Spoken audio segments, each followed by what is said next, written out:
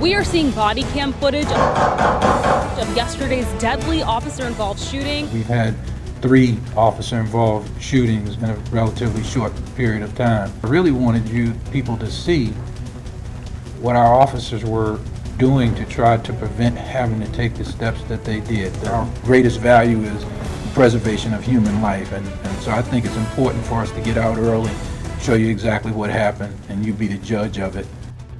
The video that he is talking about is dramatic, and we are showing it first at 5. It shows the moments before a deadly officer involved shooting in Athens. Good evening. I'm Sean Gables. I'm Mike Dunston. We're getting a close look at this body cam footage from two officers who encountered a man acting erratically with a knife on Macon Highway. CBS 46's Ashley Thompson live at police headquarters where the police chief released that chilling video. Ashley? And the police chief says his officers had reason to believe they were in danger. He says the video you're about to see speaks for itself. Athens Clarke County police officers David Harrison and Charles Bittinger arrive at the River Club apartments to investigate reports down. of a man acting erratically with a knife. Put the knife down! Put the knife down! This is video knife from down. Harrison's body cam. 23 year old Aaron Hong knife is in the yellow shirt. He's screaming, Do it! over and over. We can help you out, man. We can help you. We can help you. Move! Despite repeated demands to drop the knife, Hong continues to walk down. toward officers. Then he starts to run in their direction. Please, no, man, no! Hey, less lethal. Put the knife down, please! No, no, no, no, no, no!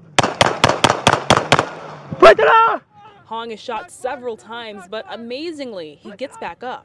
Bloody from his wounds, he runs toward Officer Harrison. Oh! He's got my gun! Now you're watching video from Officer Bittinger's body cam. This is after Hong had already been shot.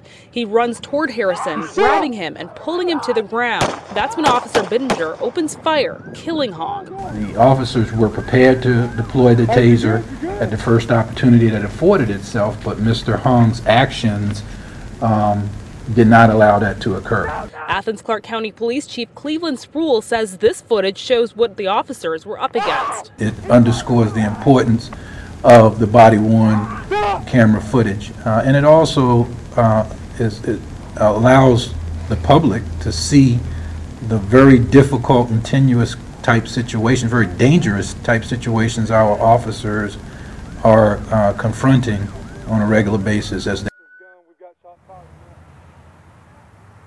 And the GBI is now investigating the shooting, and both officers have been placed on administrative leave, which is protocol. And we've learned Officer Bittinger was actually involved in another officer involved shooting earlier this year. He was cleared in that one. Live in Athens, Clarke County, Ashley Thompson, CBS 46 News.